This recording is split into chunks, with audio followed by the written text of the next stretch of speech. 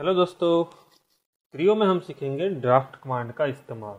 यहाँ पे हमें दिख रहा है ड्राफ्ट कमांड तो ये ड्राफ्ट कमांड का इस्तेमाल कैसे करना है?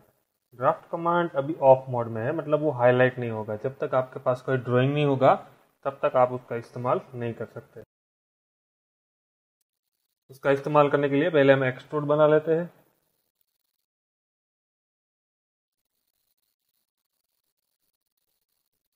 एक बॉक्स बनाते हैं चलो।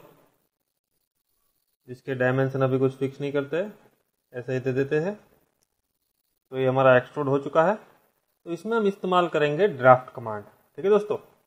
ड्राफ्ट कमांड वैसे किया है कि अगर आपको ये सरफेस इसको यहाँ से बाहर निकालना है बॉटम साइड से या ऑफ़ साइड से तो वो कैसे निकालेंगे? उसका इस्तेमाल आप कर सकते हो ड्राफ्ट कमांड में। ठीक है दोस्तों? तो यहाँ से ड्राफ्ट कमांड मैंने ऑन किया। अब मुझे सिलेक्ट करना है क्या? वो हम रेफरेंस में देख सकते हैं।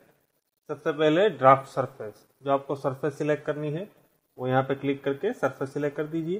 फिर दूसरी चीज़ जो है वो हिंज मतलब किस एक्सिस के रिस्पेक्ट पे आपको उसको एक्सट्रूड करना है मतलब बाहर निकालना है। तो ये हिंज हम सिलेक्ट कर देते हैं। इस एज के रिस्पेक्ट से ये सरफेस जो है बाहर निकालनी है। ठीक है दोस्तों? तो ये मैंने सिलेक्ट कर लिया। अब हमें सिलेक्ट करना है direction full direction of side या बॉटम साइड ऊपर की साइड या नीचे की साइड आप रख सकते हो। यहाँ से एरो से आप डायरेक्शन चेंज भी कर सकते हो। अब क्या होगा? यहाँ पे हमें एक सर्कल दिख रहा है। यहाँ सर्कल दिख रहा है येलो कलर का। उसको आप पुल कर सकते हो। जैसे ही आप पुल करोगे एंगल क्रिएट होगा। ये एंगल आप लिख भी सकते हो कितना लिखना है। ठीक है दोस्तों? तो इस तरह से ड्राफ्ट कमांड हम इस्तेमाल कर सकते हैं ड्राइंग में।